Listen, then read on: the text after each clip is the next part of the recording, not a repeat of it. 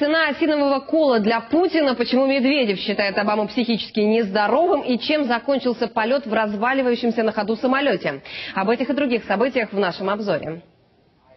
Чуть не развалился в небе. Прямо во время рейса в самолете американских авиалиний отошли стеновые панели. Боинг 757 продержался в воздухе час.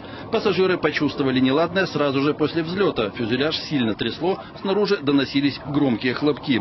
Но капитан корабля отреагировал неполадки, только увидев разваливающиеся стенки лайнера. Все закончилось хэппи-эндом.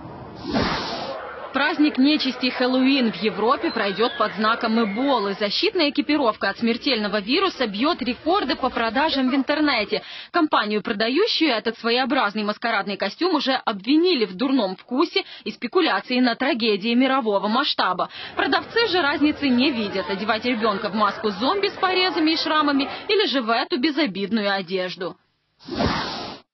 Кол в сердце Путина дорогого стоит. Суд в Париже оштрафовал активистку Фемен на 6 тысяч евро за акцию в музее восковых фигур на Монмартре.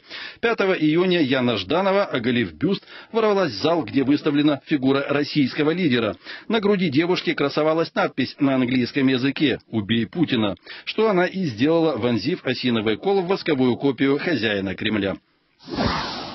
У Барака Обамы психическое расстройство. Такое подозрение озвучил российский премьер Дмитрий Медведев в интервью американскому телеканалу CNBC. Основанием для такого вывода о здоровье американского президента стала недавняя речь Обамы на сессии Генассамблеи ООН. Медведева возмутило, что тот назвал Россию второй по значимости угрозой для мира после Эболы.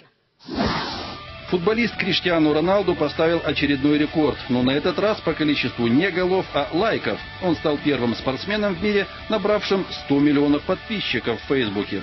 Это виртуальное достижение нападающий мадридского Реала и сборной Португалии отметил лирическим видео. В нем благодарит всех фанатов и вспоминает лучшие моменты карьеры.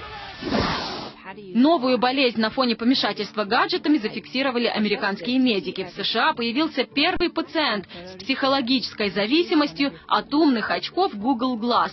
Это 31-летний военнослужащий. Сейчас он проходит реабилитацию в медцентре вместе с алкоголиками и наркоманами. Солдат носил очки по 18 часов в день и снимал их только перед сном и в душе, а без гаджета на голове испытывал настоящую ломку.